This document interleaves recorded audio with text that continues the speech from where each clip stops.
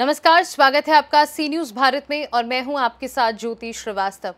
Lucknow police commissionerate के south zone में अपराध नियंत्रण एवं दोपहिया वाहन चोरियों की रोकथाम के लिए डीसीपी तेज स्वरूप सिंह एवं एडीसीपी शशांक सिंह के दिशा निर्देशन में चलाए जा रहे अभियान के क्रम में रविवार को मोहनलालगंज कोतवाली पुलिस ने दो शातिर वाहन चोरों को गिरफ़्तार कर चोरी के 10 मोटरसाइकिल बरामद की है।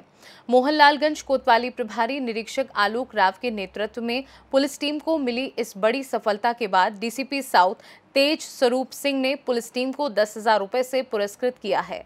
आइए देखते हैं हमारे संवाददाता उमेश विश्वकर्मा की ये खास रिपोर्ट।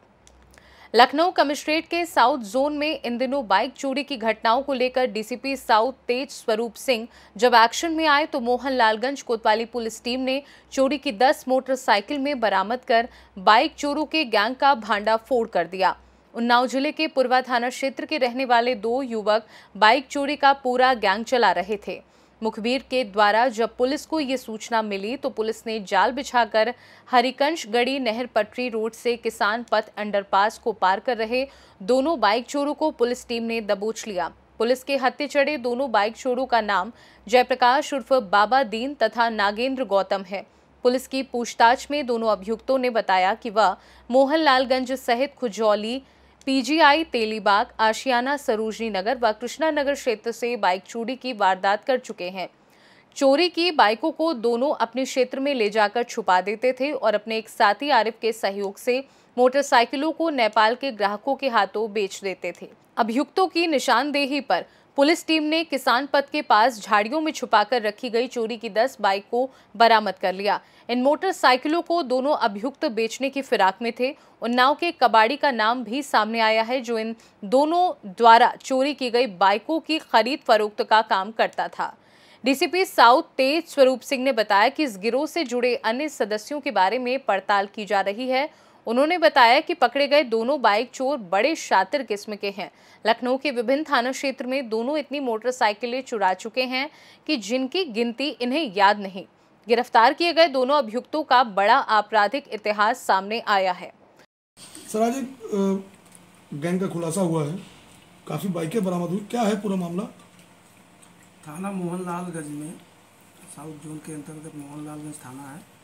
यहाँ पर एक अंतर जनपदी या इसको कहा जाए इंटर रेंज या इंटर जोन या प्रदेश स्तरीय एक गैंग पकड़ा गया है, जिसके दो सातिर बदमाश वाहन चोर पकड़े गए हैं, जिनमें एक का नाम जयप्रकाश है और दूसरे का नाम नागेंद्र गौतम है।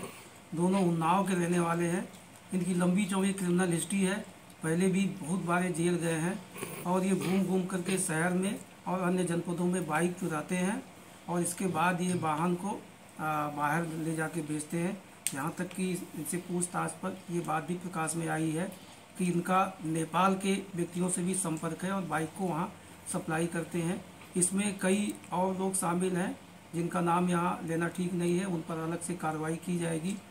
और ये वाहन चोर गैंग पकड़ा गया, इनके कब्जे से 10 मोटरसाइकिल बरामद हुई है।